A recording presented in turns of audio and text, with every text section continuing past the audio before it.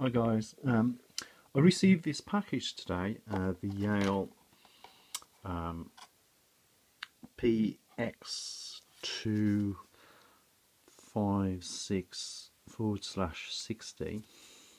Um, it's a very nice uh, padlock. Um, it's the Yale changeable core there, changeable pins. Um, beautiful lock. I got into, I just wanted to show you this uh, false setting uh, we're actually got into there. And it's so deep. I just wanted to show you that I'm finding it actually more or less impossible to find the binding pin. I was a bit shocked when I got this padlocked because very quickly I opened it. I didn't even think that there, there was any security pins in at all. Um, and I know that Yale used a lot of spool pins uh, in this padlock.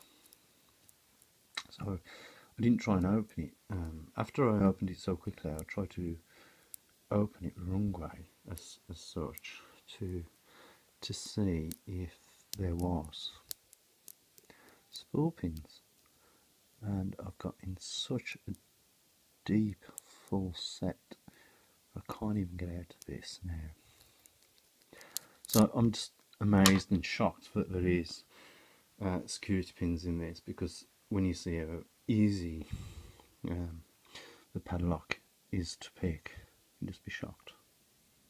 But so there is security pins in and I'm shocked. So let's reset it. I'll show you the uh, keys.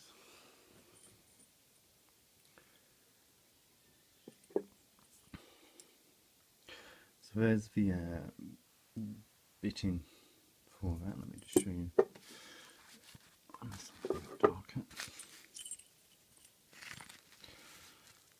So we got uh, pin 1 which is quite low, pin 2 and 3 high, uh, 4, 5 and 6 quite low. Let me show you how unbelievable this padlock is, easy to pick. I'm going to try and get it um, repinned if possible. And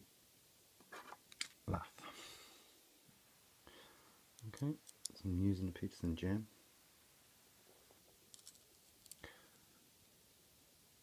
And I've checked, there is no binding pin except for pin 1.